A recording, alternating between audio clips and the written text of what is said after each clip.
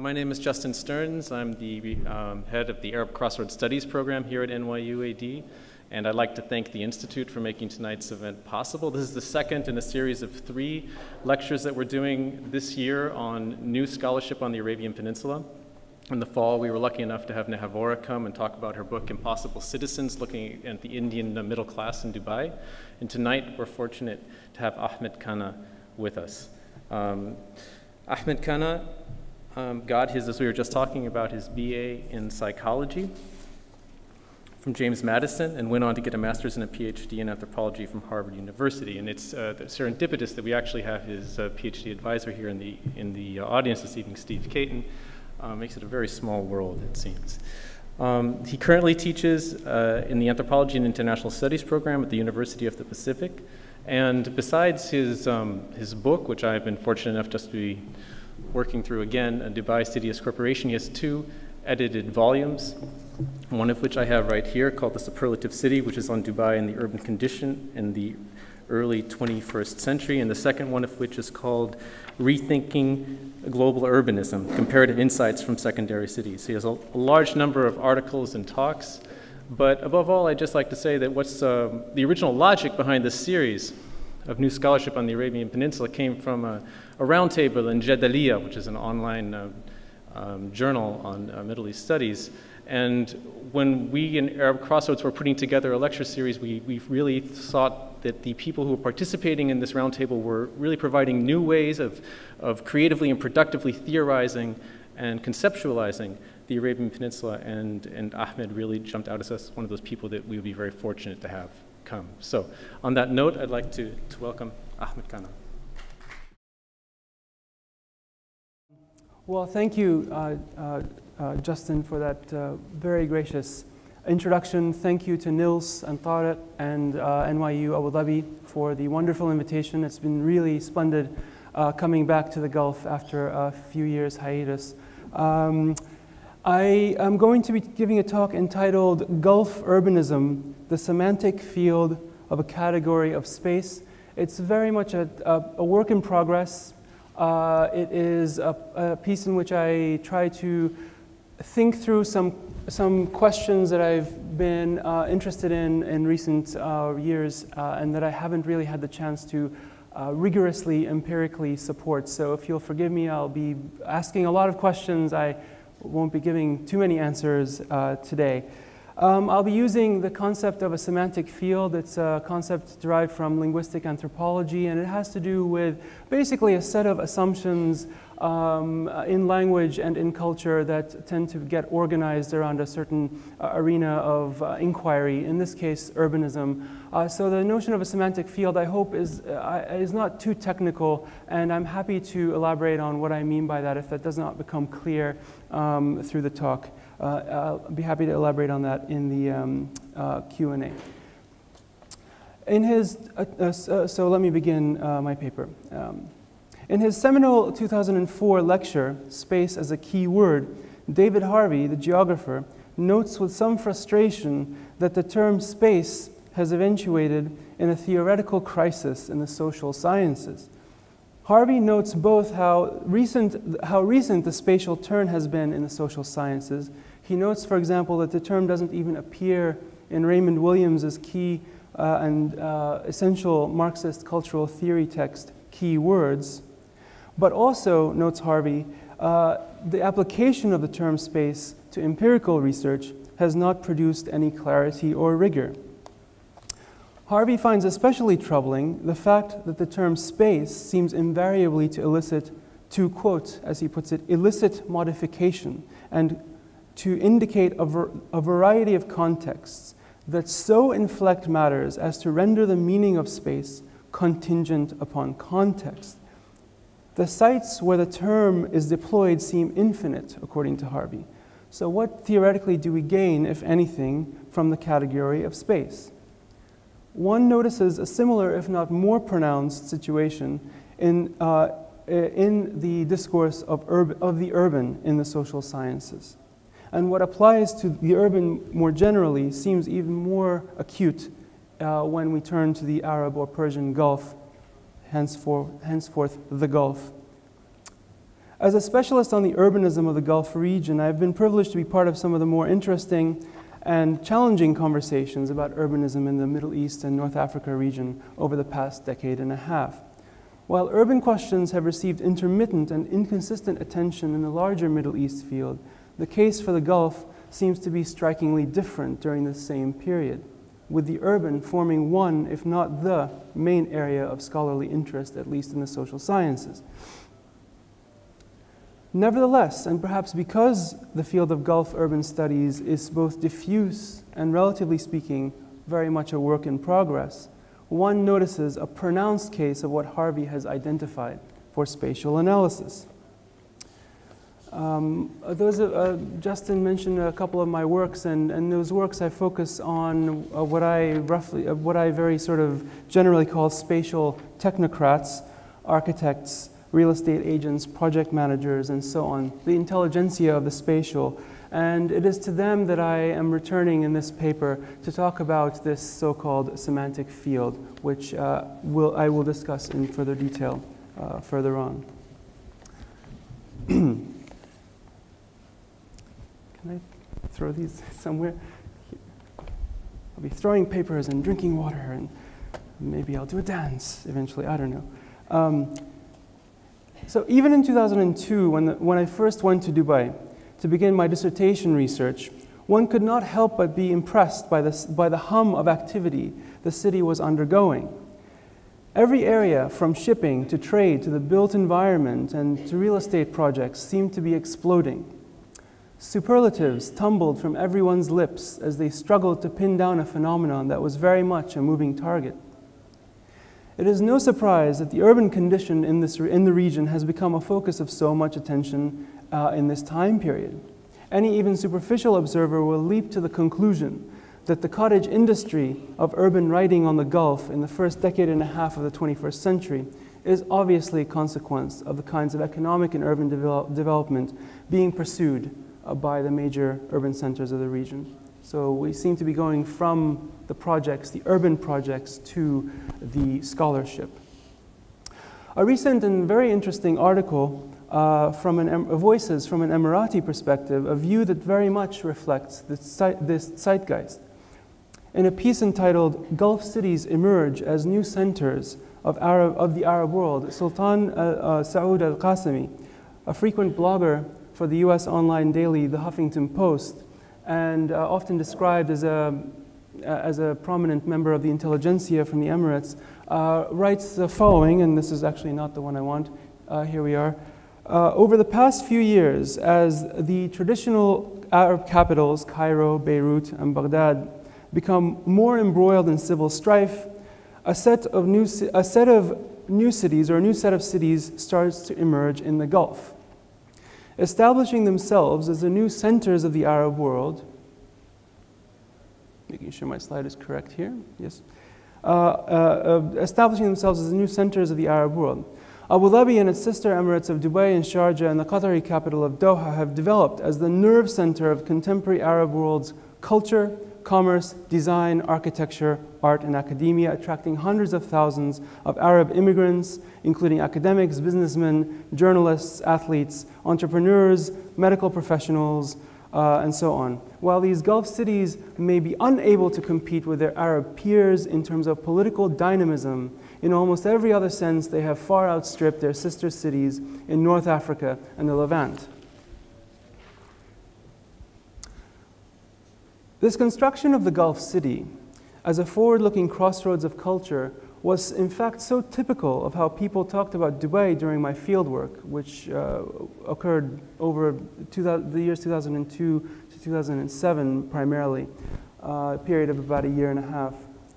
Uh, this occurred so frequently uh, in those discourse, in those uh, conversations I had with my interlocutors in Dubai, and also in what I've witnessed in the media coverage since uh, 2007 that one is reminded about uh, the old cliche of the lady protesting too much.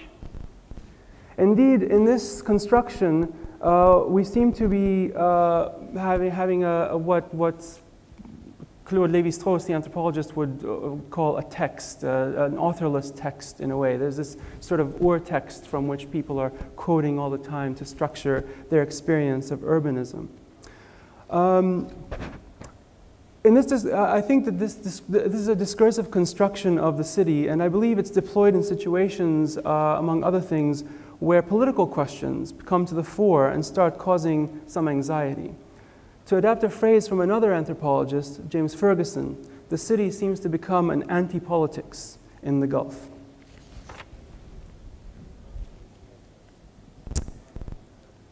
So, in this paper, I will try to do two things. First, I will try to invert the common sense notion that the explosion of urban knowledge production in the Gulf over the past 15 years is merely a consequence of the urban projects that have been undertaken uh, during this time. This assumption betrays a, a, a, naive realism that goes from the referent to the sign, a theory of signification that linguistic anthropology long ago advanced beyond. Rather, I will try to show that the situation is more complex and may in fact be the reverse. That to extend the, that to extend the linguistic analogy, the sign, city, and the semantic field in which it is situated help to constitute the arena in which certain forms of, of uh, the built environment take shape and certain kinds of urban spaces emerge. The second part of my agenda here has to do with knowledge more specifically. Categories such as the urban and urban space are vague and do not lend themselves to precise analytical interventions.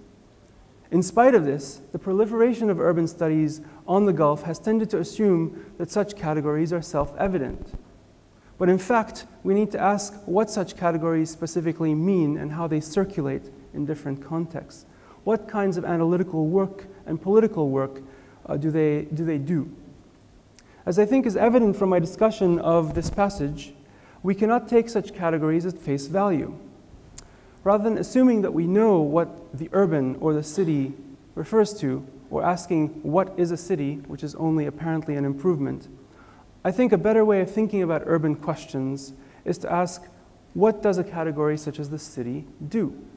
And how does it operate in contexts of cultural politics and historiography, Cultural politics I'm more comfortable speaking about, and I know historians here uh, will be able to speak to questions of historiography better than I, so I won't really be addressing historiography so much. Dwelling a bit longer on this passage, uh, we begin to appreciate some assumptions worth noting. For example, it is, no, it is noted that the more traditional Arab capitals, quote unquote, may be more politically, that while they may, may be more politically dynamic than the cities of the Gulf, the cities of the Gulf are outpacing these traditional capitals in the areas of culture and development. In other words, we see politics set to one side and culture in the common sense understanding related to the arts rather than to more anthropological notions of culture. So, culture and economics on the other side, politics on one side, culture and economics on the other. Politics, it is implied, is best left to experts or to some other responsible authority. What, after all, it seems to be suggested here, has the political dynamism, uh, the more participatory and quotidian engagement with the political by everyday people in traditional Arab capitals, what has this brought except chaos and misery? Second, and as I will analyze in more detail go, uh, in, uh, go below in the paper, there's an explicit binary here, traditional or traditional Arab versus the Gulf, opposed to each other. A binary that has proven highly useful in highlighting the ways in which the Gulf is seen to be superior to the rest of the Arab region. Third, the formulation also begs the question, to whom does the city belong? Uh, here it is said that uh, here, and this is a very typical uh, writing. This is, in a way, an authorless text, what post-structuralists call an authorless text, in a way. Uh, it's such a common formulation. Uh, the assumption here, the formulation seems to suggest quite explicitly that the Gulf City is a city for professionals. The Gulf City as the, quote, nerve center for, of the contemporary Arab world's culture, commerce, design, architecture, art, academia, etc., etc., etc yours truly, us truly, um, uh, and so on. One might call these us the good subjects of neoliberalism or good subjects of some other kind. Who gets excluded is obvious. The majority of the population who look after the children of these good subjects, who drive them around, who build and clean their houses, who build the roads, etc., etc., etc. Uh, there's a huge exclusion going on here.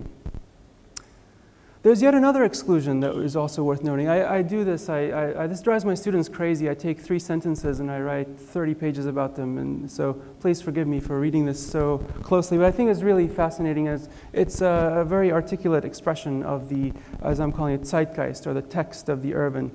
Um, so the, uh, there's another exclusion going on. The implication that Gulf cities are politically quiescent which may, may align with some Western media stereotypes about wealthy sheikhs buying their subjects' loyalty with petrodollars and handouts. But even a superficial glance at the events of the Arab uprisings, let alone a serious engagement with the history of the past century in the region, easily undermines the assumption. How are we, reconcile this, uh, how are we to reconcile the stereotypical representation of, of politically quiescent Gulf cities, for example, with the recent protests and encounters across the region. Moreover, why assume that the category of politics is an activity that only citizens of a state participate in? Why exclude non citizens? Protests by non citizens have been going on for a long time, and the United Arab Emirates is, uh, is not an exception. The demands of non citizens and citizens may be different, but calls for reform along with the day to day politics of protests, worker militancy, and urban unrest have been a regular feature of Gulf life for a long time, as has been detailed by the work of uh, Robert Vitalis, Fred Halliday, Christopher Davidson, many, many people. Remaining here, I'm going to add another aspect here, um, uh, which is uh, uh implied by a passage such as uh, there's a what, what's going on here is, is the, the, the, term city and the term state, the term emirate and the term city are used almost interchangeably. There's this sort of um, tacking back and forth. And um, uh, this is also interesting to me. Uh, it, it, may seem like common sense to consider Dubai a city or an emirate or a city state, but in fact, uh, are we referring to the same thing when we talk about the state and the city? Um, this is not an easy question, this is a complicated question. When do we refer to Dubai the emirate or Abu Dhabi the emirate? When do we refer to Dubai the state, or uh, Abu Dhabi the state, Abu Dhabi the city, etc.? Uh, are, the, are these categories the same? Are they overlapping in some ways? Uh, are they referring to different things? And this is a, uh, something I was really I've been struggling with myself. Um, the, the book that Justin mentioned, the yellow one, is one in which I really uh, couldn't figure out what I was referring to ultimately, um, and, and, and I really gave up. I threw my hands up in the air. Um, so I think there's a vagueness in the way that we use the category of the urban when we write about the Gulf, and that this is conditioned by our situation as we produce knowledge. Let me discuss some other examples. I'll move on from, from this one uh, before offering some tentative conclusions. Uh, I've talked about this elsewhere, a short piece coming out in the International Journal of Middle East Studies um, and in other places. Um, I find expert settings, such as academic and professional conferences, writings, and imagings, of, of, and imagings on and of Gulf urbanism to be a fascinating kind of field site and archive for the study of knowledge production, and specifically the schemas and systems of assumptions that we specialists employ in our analytical work, our semantic field, if you will. Uh, I explored this uh, in, in relation to uh, so-called star architects, star architects um, in the UAE in the Yellow Book, the first book. Um, and I also talked about, uh, there seems to be this idea I only talk about Rem Koolhaas and Zaha Hadid. I don't, in fact, I write mostly about people who are much, much more uh, less well-known people, everyday people, everyday architects who are really, uh, again, borrowing from texts of the urban as they um, go about making place um, uh, in, in, in, in Dubai. So I argued that in the context of the contemporary Gulf, the expert, and especially the Western expert carrying the cachet of Western cultural capital, becomes an important player in local, cultural, and spatial politics. The conventional story told about such actors is that they supply rising Gulf cities and their ambitious monarchs with the prestige and built iconicism necessary for global urban consumption.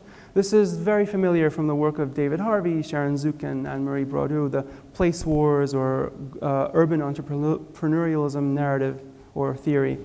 And while there's much to recommend it, I agree with much of what they say. It does, however, tend to represent local actors as somewhat passive recipients of homogenous neoliberalism and Western style global urban forms. What we see, in fact, is a far more ambiguous situation in which global experts and local actors uh, shape each other's agendas and, in turn, co constitute Gulf urban space.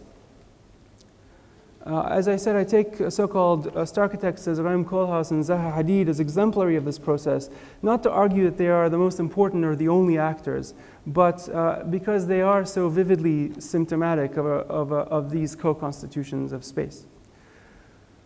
Um, ultimately, what I tried to show in my earlier work was that while these international experts consistently and explicitly seemed to enact the, the uh, uh, consistently and explicitly spoke and wrote about the Gulf as being an unprecedented laboratory. Uh, this is Frank Gehry's uh, terminology. A laboratory that allows them to enact their most daring aesthetic projects. In other words, to live the long dream of unfettered architectural formal experimentation in a real world setting. In fact, they unwittingly participated in the politics of legitimization of local structures of power uh, and historiography.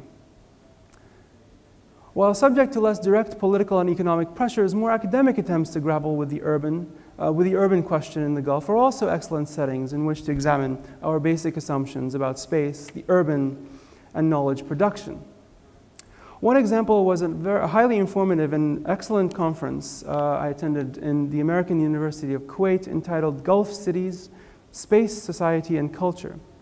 The conference featured papers ranging over a broad spectrum of issues in dozens of papers, presenters covered topics such as port cities of the Gulf, debt, capitalism, and land tenure in the Indian Ocean, the quote unquote urban growth machine of the Gulf, corporate transit cities of the Gulf, public works, contested spaces, ethnocratic governmentality, migration and urban commodification, urban rhetoric, et cetera, et cetera, et cetera. Dozens and dozens of papers the timing. I'm just making sure I'm within, well within our time. I don't want to go over. Am I okay? Okay, great. The American University of Kuwait abstract begins in a typical way. Quote, the Gulf region ranks among the most urbanized in the world, with an average of 84% of the population living in urban areas and 91% if you exclude Saudi Arabia, Iraq, and Iran. The region's distinctly urban identity is a hardly new phenomenon, continues the brochure. For centuries before the advent of oil, the coasts of both sides of the Gulf waters were dotted with prosperous port cities that served as vital entrepot and transnational hubs, dotted uh, uh, transnational hubs within the Indian Ocean network, uh, nodes of cultural exchange, uh, much like the skyscraper cities of the 21st century, end quote. The introduction goes on to note that a rigorous scholarly focus has been largely missing in the literature on the region and that its urban histories and rapid contemporary urban growth invite new and exciting research. And I think that this is very good. I think I agree with everything that's being said here, actually. I don't uh, find, I'm not mocking or minimizing or critiquing here. I'm just uh, trying to uh, dig deeper to look at what the shared set of assumptions are between different constructions of Gulf urbanism. Um, so so uh, what I'm saying is that in spite of the apparent variety of the topics covered by conferences such as uh, AUK, American University of Kuwait, uh, some intriguing patterns emerge and point in a direction, in the direction of a potential semantic field of the urban in the region. Let us consider, for example, how this scholarship is mediated, how, the, how its object of study is represented, and what techniques are employed to represent its, this object. Maps, both representational and non-representational. Geographers make this distinction between representational maps, which are, with which we're more familiar, sort of the Rand McNally, the Mercator projection, or maps of demographic figures, for example, on the one side, and non-representational maps, which, which track more ambiguous sort of phenomena, moods, placemaking, collective histories, and so on. So uh, uh, representational maps and non-representational maps are central in this conference and in every uh, meeting that I've attended, every meeting I've, uh, or many of the meetings I attended with experts during my field research. Representational maps depicting such things as urban plans, neighborhoods, demographics, and other kinds of data produced an image of the city as a specific kind of object of expertise. This was an image of the city as an, either as an arena of surgical intervention or as a demographic research problem or as a spatial relation between built forms. But it was non representational mapping uh, that was particularly interesting in this instance. The given city or urban space represented as a space associated with qualities more ambiguous or complex than can be captured by a representational map. For example, the city as a space evoking a certain mood or a kind of memory. Such papers describe the passing of certain kinds of urbanity, such as, the city, uh, such as a city in which public parks and accessible spaces were common and its replacement by a skyscraper city. Other papers discuss the aesthetics of public monuments. The aesthetics of public monuments and their connections to collective memories. Yet others evoked even deeper histories and memories of urbanity, such as those connected to the pre oil Indian Ocean region or to frontier cultures in, uh, in early oil cities. Such non representational geographies can refer to a past, but they can also refer to a future or to a utopia. The most vivid example from this particular instance, the AUK conference, was the silhouette image on the conference brochure's cover and its logo a blending of the shadows of iconic skyscrapers from the region's major cities, Doha, Dubai, etc., to create the image of an overwhelming high rise urbanity. In the foreground, it shows a gray silhouette referencing these cities specifically. In the background, a lighter gray shadow uh, of more anonymous buildings. The effect is a kind of Manhattan like high modernism, an image resonant with a sometimes subtle, sometimes not so subtle teleology underpinning contemporary contemporary discourses on Gulf urbanism. There have been some attempts to render the reality of Gulf urbanism more theoretically compelling, from the frankly dismissive, such as the writings of Mike Davis and David Harvey and other lesser well known uh, people, to uh, much better attempts, uh, such as uh, Beaugrand, uh, Le Renard, and Stadnicki, Nelida Fuccaro's recent edited volume with uh, comparative studies of South Asia, Middle East, and Africa the work of Farah al-Nakib. I mean, there's many others who are really working on this. Pascal Menoret, whom we talked about earlier. Um, uh, the, the, the, group of scholars I just mentioned are, are uh, producing indeed theoretically quite compelling work, but little uh, attention has been paid to the what I've been calling the semantic field or the tacit basic assumptions that are shared across discourses of the Gulf. And I think that an anthropological perspective is well equipped to address the question. Uh, without hopefully sounding simplistic, I would like to ask a seemingly simple question. What, again, what do we mean by the city in the context of the Gulf? Um, and I'm, i know for those who know anything about anthropology, I'm, I'm, dredging up the awful and horrid ancient history of anthropology here, talking, talking about semantic fields and binary schemas. This is uh, not very fashionable stuff, but I think it's useful as a, as a, as a, uh, a, a preface or a first step to moving on to a more interesting theoretical um, stage. So uh, we seem to see uh, in these uh, uh, constructions, the ones I mentioned earlier in the paper and this one here, uh, a set of binary schemas, a, a sort of binary schema um, that makes these sort of oppositions um, here, GCC, Gulf urbanism, global, cosmopolitan, rulers, experts, consultants, professionals, uh, on one side, and then others, the others, right? Yemen, Iraq, Iran, Egypt, Cairo, Beirut, the Levant, um, uh, uh, et cetera, parochialism, um, et cetera, et cetera, et cetera. Everyday people on one side. And um, one, one, of the more interesting ones we seem to see, one of the most inter more interesting aspects of this that we seem to notice is that there is sort of agency on one side, active participation on one side, construction, and then passivity is assumed to prevail on the other side. Um, and even in the literature on um, worker protests, for example, you notice a, a certain Orientalist uh, uh, uh, impulse to try to, to look at these uh, protests as, you know, these are uh, you know, modern day slaves. These are passive people. They, they're sort of, they need people to speak for them and so on and so forth. So you see this really all over the place, this binary. It's a sort of a, a very common, or what I'm calling a schema, basically. Um, okay, so of course, if we read this as a schema, we have to ask in what context is this applied? Um, uh, you know, how, you know, how is this code codified? Or how is this semantic field, how does it circulate? And that's the big question, really, that is the next, the one I don't have as many good answers for. But I'll try to venture some generalizations and hopefully useful generalizations as a, as a departure point for a future uh, more contextually sensitive research. Um,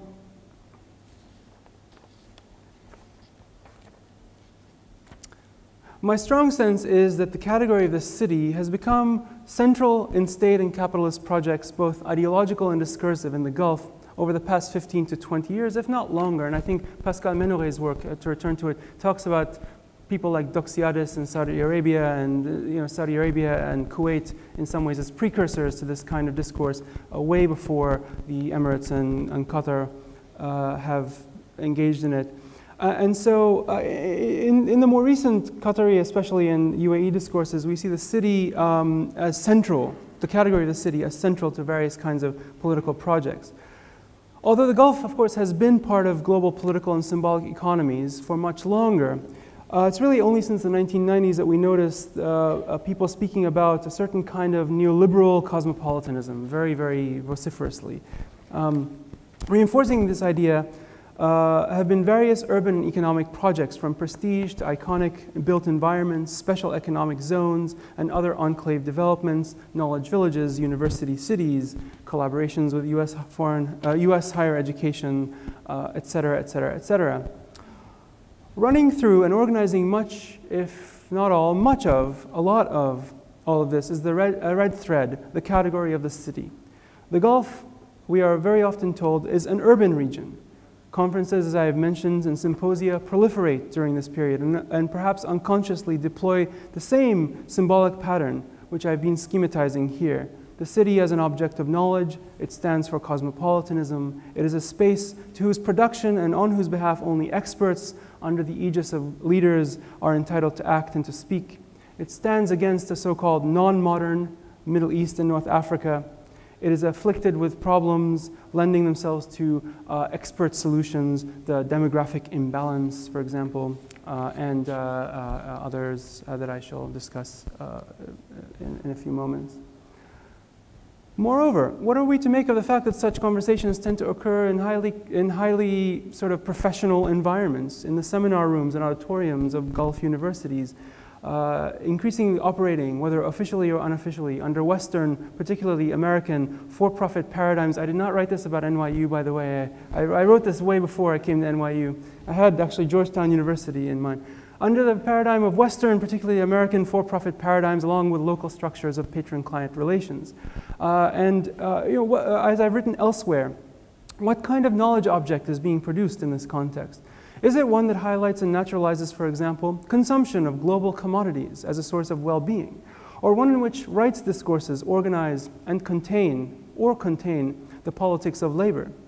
Or one that closes off possibilities for alternative modes of urbanism and so on?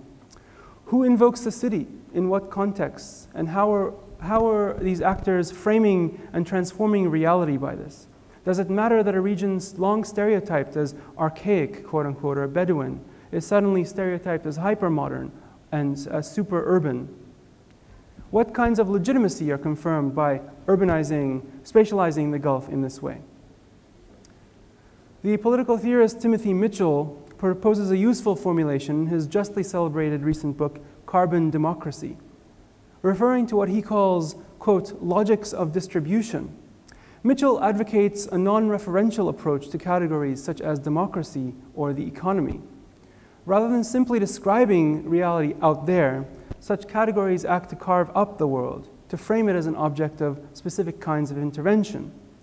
The boundaries, uh, so the boundaries such categories deploy function to demarcate, he writes, quote, certain areas as matters of public concern subject to popular decision while establishing other fields to be administered under alternative methods of control. For example, governmental practice can demarcate a private sphere governed by the rules of property, a natural world governed by the laws of nature, or markets governed by principles of economics. Democratic struggles, he continues, become a battle over the distribution of issues, attempting to establish as matters of public concern questions that others claim as private or ruled by the laws of the market, end quote. Applying Mitchell's insight to the examples of Gulf urbanism just cited, highlights the fact that the question of the urban and the Gulf operates as a kind of logic of distribution, organizing political and intellectual perceptions of, interventions into, and analytical approaches to many other issues, from modernity to labor to heritage to national, ethnic, gender, and normative urban identities, and of course, to material resources. And as an illustration of, of uh, what I'm talking about here, my, my, my drawing on Mitchell, let me shift, uh, let me shift gears slightly uh, and talk in a, an undeveloped way, admittedly, uh, about uh, the issue of the so-called Anthropocene, which has been uh, gaining some interest in anthropological circles and, of course, in natural scientific circles for some time. The Anthropocene the uh, study of the impacts of human ecological activities, uh, of human activities on eco eco the ecology and the environment at various scales of analysis. This suggests, I think, another fascinating implication of this approach I'm proposing to Gulf urbanism. Um, and alerts us to the ways that such a, a semantic field can shape and limit spatial knowledges and discourses in the region that cities are major, the, the cities anywhere are major energy consumers and carbon emitters, and that the Gulf, uh, and especially uh, uh, the UAE and Qatar, are very high per capita energy consumers. These are well-known facts. Moreover, the idea of economic growth itself emerges in the form in which we are familiar only in the middle 20th century, as the Arab or, and as the Persian Arab Gulf uh, extraction states enter the US-dominated post-war order. Indeed, um, growth is dependent, growth as we know it, is dependent on this entry.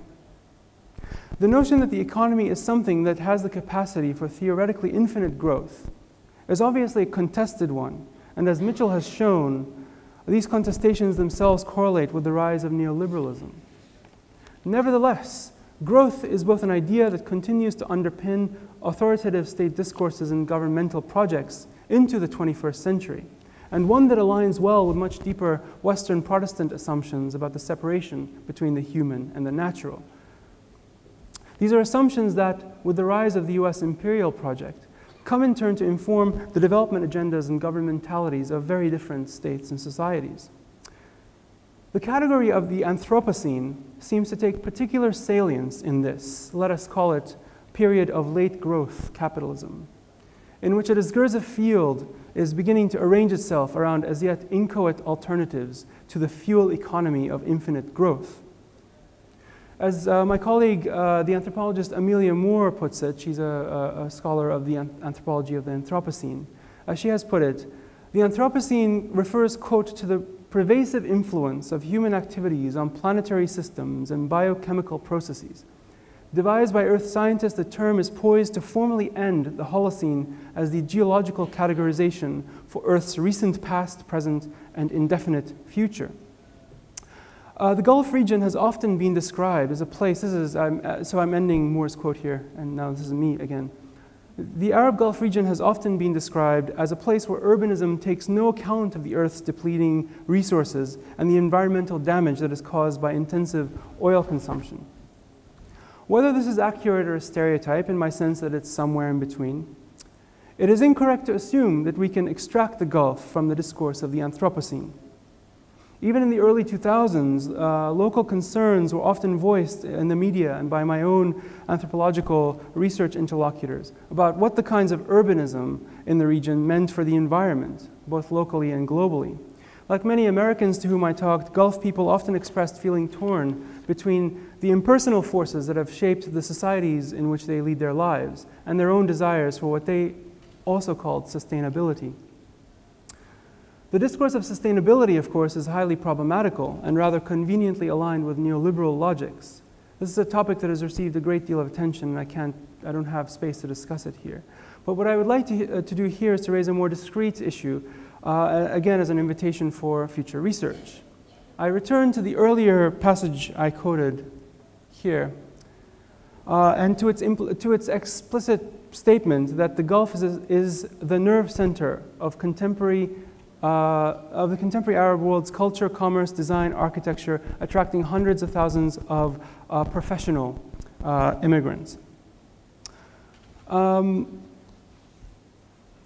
and I'm, what I'm suggesting here is that if we think of the Gulf as engaged in, in anthropo, anthropo, anthropocentric, the Anthropocene, not anthropocentric, the Anthropocene, uh, I think this, returning to this uh, adds uh, a new dimension to our analysis.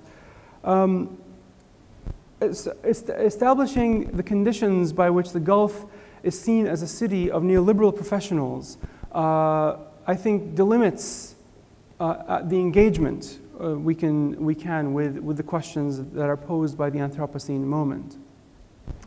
In so privileging the neoliberal professional and expert, what sorts of engagements with this question are made thinkable and what are made far less likely thinkable? What productive avenues for new kinds of urbanism are anticipated? For example, by Norman Foster's Masdar, should it ever be completed. And I'll be going there tomorrow to, I'm very much looking forward to seeing it for the first time tomorrow. Uh, by this uh, project and by the other less celebrated interventions into the problem of ecological impacts that occur uh, in various parts of the region. Here, let me again cite my colleague anthropologist Amelia Moore. She writes, I would like to concern, I would like to caution against potentially unhelpful uses of the Anthropocene idea. The term should not become a brand signifying uh, a style of research it should not gloss over uh, rigid solidifications of time, space, the human, or life. We should not celebrate creativity in the Anthropocene while ignoring instances of stark social differentiation and capital accumulation, just as we should not focus on Anthropocene assemblages as only hegemonic in the oppressive sense. End quote. So, does the emergence of this question as both a source of concern and knowledge production in the Gulf avoid or go beyond the temptation to brand, to which this notion, as Moore, I, I think, correctly points out, is all too susceptible. Are Gulf engagements posing fresh and productive responses to the rigid solidifications of time, space, and the human and life, or do they simply ignore stark social differentiations and promote the agendas of capital accumulation? On the other hand, again quoting Moore, we should be cautious with our utilization of this rhetoric surrounding the events in the Anthropocene, recognizing that crisis for some can be turned into multiple forms of opportunity for others. End quote. Representations about the, of the Gulf as symptomatic or symbolic of the apocalyptic telos of capitalism, as exemplified, for example, by Mike Davis's notion of evil paradises, or David Harvey's comment that uh, the urbanism in the region is, quote, criminally absurd, I think should be avoided. These kinds of rhetoric, I think, traffic in the kind of crisis discourse identified by Moore as a, uh, not a very productive or helpful direction. Um, the Anthropocene as an alibi and the Gulf as a symbol or symptom seem to lend themselves all too well to this kind of crisis rhetoric, and, and again, I don't think is very helpful. We should rather see the Gulf very much as engaged in the Anthropocene in ways shaped by its historical legacies of empire, dynastic politics, resource extraction, its own locally inflected versions of global and neoliberal capitalism, as well as the more impersonal factors of its geology and physical geography. We should avoid falling into the trap of employing the Anthropocene uh, as an excuse to exoticize the region or to impose on it a kind of zombie capitalist logic, supposedly predetermined by the past, or worse, by the putative moral character or cultural personality of its peoples, as I think some of this, um, some of this discourse tends to do. The Gulf remains a marginalized, even fashion, unfashionable area, area of research in uh, the West, at least the Western Middle East Academy. In spite of, or maybe because of this marginality, the region offers an interesting vantage point for reflecting on the production of knowledge about generally ignored questions, such as those pertaining to the related arenas of the urban and the Anthropocene. Every discipline is organized uh, around both the legitimacy and prestige of its objects of knowledge, which in turn constitute the precondition of the given discipline's process of knowledge production. The frame of knowledge production casts into relief discourses of the city in the Middle East and particularly in the Gulf uh, over the past decade to two decades. The marginality of both the Gulf, of the Gulf and the question of the urban in the wider Middle East field contrasts strikingly with the emphasis on the urban in Gulf studies and invites a number of questions. Why is the urban so central to Gulf studies? How and when does it become so central? How does it organize, focus, and distribute power and resources, historiography and cultural capital, and other arenas of public concern, such as the environment and the Anthropocene? The question of knowledge production also helps us wrap our heads around a seemingly unwieldy and metaphysical question, which I don't think is at all unwieldy or metaphysical. What do we mean when we use the term city, and how does this category operate politically and intellectually? In that, grappling with knowledge production within Gulf cities can help us to clear away a lot of the theoretical morass around the question of urbanism in the social sciences and opens up possibilities for engaging larger questions of urbanism in the global south, in the global south and beyond. Thank you.